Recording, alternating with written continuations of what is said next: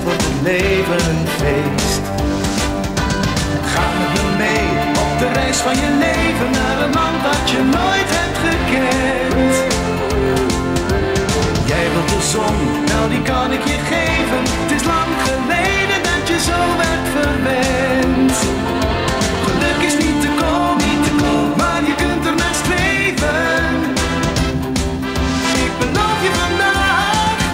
de reis van je leven.